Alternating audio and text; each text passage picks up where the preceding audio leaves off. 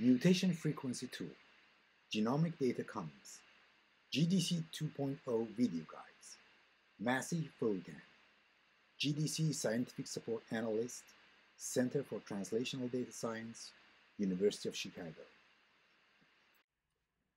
In this video, we are going to introduce Mutation Frequency Tool. The Mutation Frequency Tool visualizes the information on somatic mutations and mutated genes for your active cohort.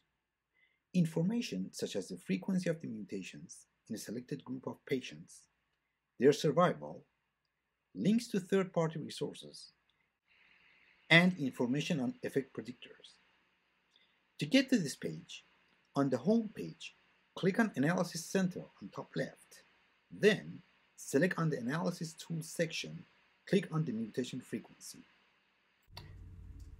To demonstrate this tool, we are using a cohort that contains RNA-seq analysis in lung cancer patients who are 50 years or older. Here we call it long 50 plus RNA. We have videos on creating and using cohorts. If not already seen those, we encourage to watch them to see how cohorts are created. So here we have two main sections, genes and mutations. We can switch between them on the tab on the top left. And on the left column, we have filters to customize the output. So let's see what we have on each tab. On the Genes tab, we have a distribution bar chart, a survival plot, and a gene information table. In the bar chart, we can see the genes and the percentage of the cases affected by the mutations in the gene. When you hover the mouse over each bar, a tooltip will show the actual number of mutations. In the survival plot, the survival rate of the patients in your active cohort is displayed. The two lines S1 and S2 are for patients without and with mutation on the selected gene, respectively. The default gene is the one with the highest frequency in the cohort, TP53 in this example, and we can change it by clicking on the gene on this table below the graphs. So here, for example, if I click on KRAS, we see most patients that have this gene mutated have consistently lower survival rates. The table below the graphs gives some information about the genes. Symbol open the gene information in a new window. Some of these are already in the main table, but some details are visualized at deeper level, like the distribution of copy number gains and losses across projects, the second table details the gene variation across projects, and the table at the bottom visualizes individual mutation details associated with this gene. And clicking on each mutation takes us to the mutation page where further information about the individual mutation can be found.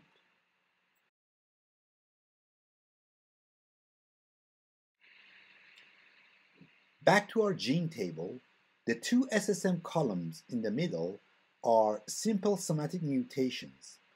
Uh, one is uh, for cases in our selected cohort, and the other one across the whole uh, GDC repository.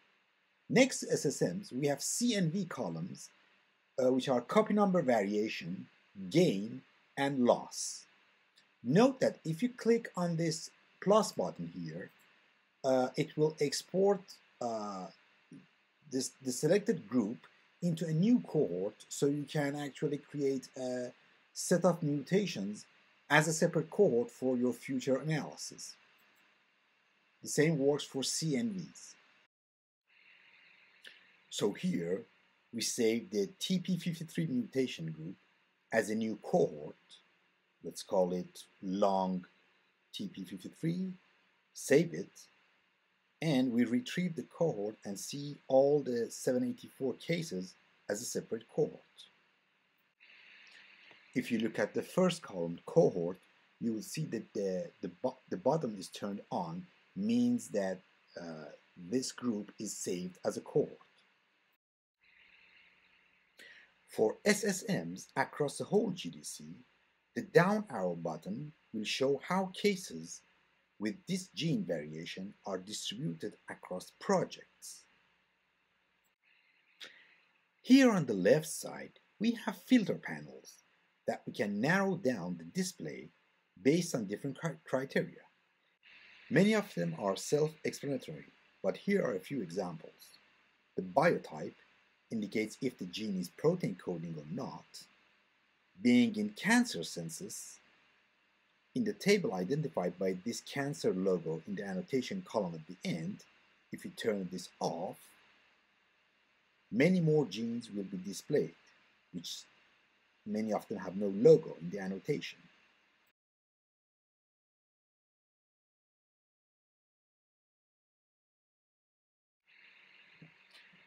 And uh, let's scroll down. These three filters narrow the data based on three effect predictors.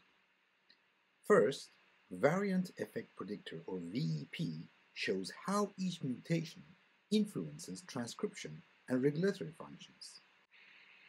Second, sorting intolerant from tolerant or SIFT indication to predict whether an amino acid substitution will affect protein function.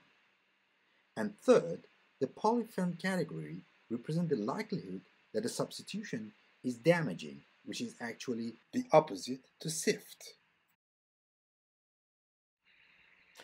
Now, on each filter, you have these items.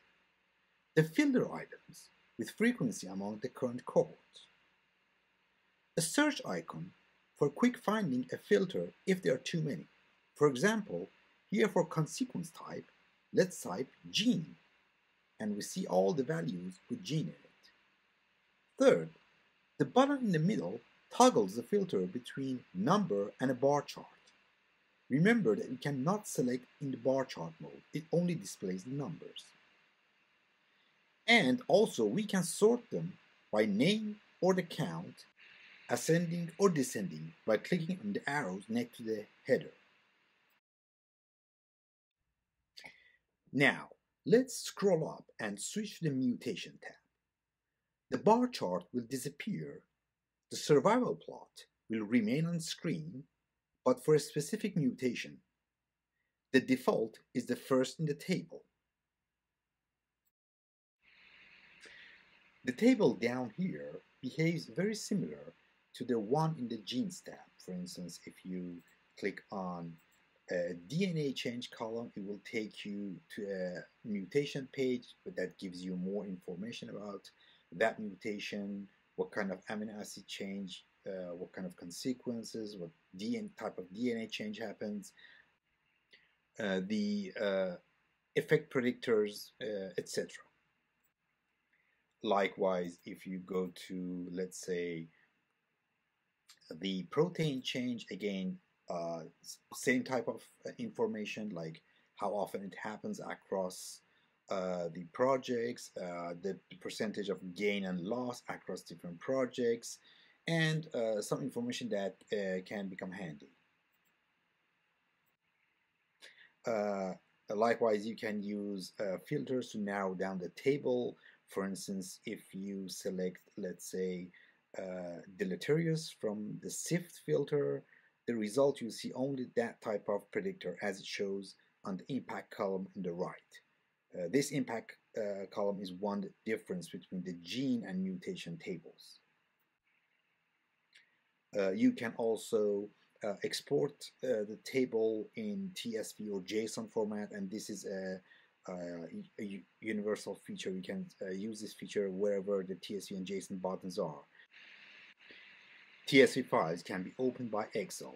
For instance, we click the TSV here and it will download the file and we can open it using the download button here on the browser.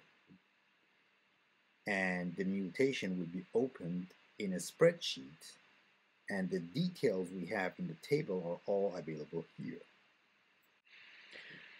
And also, like the gene tab, you can use uh, the orange cross or plus sign uh, here to export selected group of mutations into a cohort and save them independently.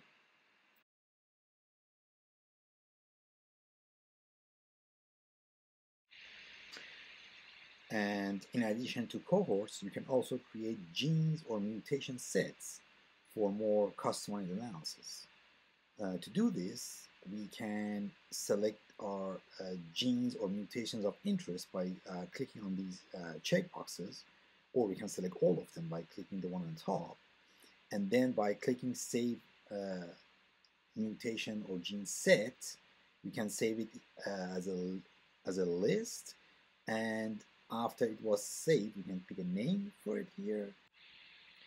And uh, we save it as a new set and after the set was saved, uh, here on uh, top right, we can click on Manage Sets to access uh, all the sets we have uh, saved.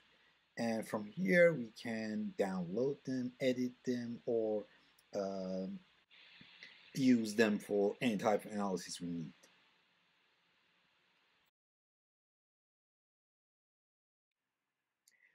This concludes an overview of the basic features of Mutation Frequency Tool.